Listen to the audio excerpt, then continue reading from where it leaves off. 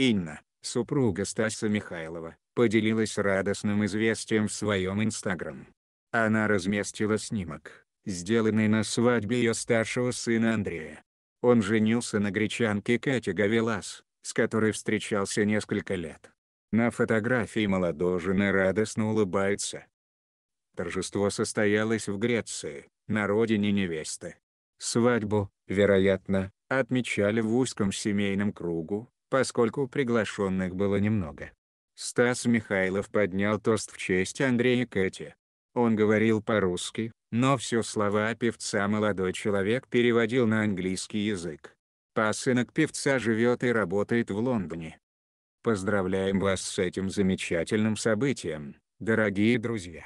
Собака Аканчельский собака довелась большой любви вам. Целуем, обнимаем.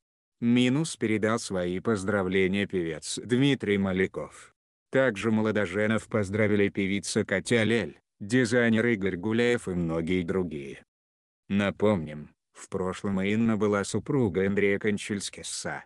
Она родила двоих детей, сына Андрея и дочь Еву. В 2011 году Инна вышла замуж за Стаса Михайлова.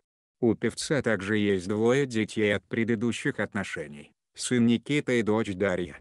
В 2009 у супругов родилась первая общая дочь Ивана, а в 2012 году на свет появилась вторая наследница Мария.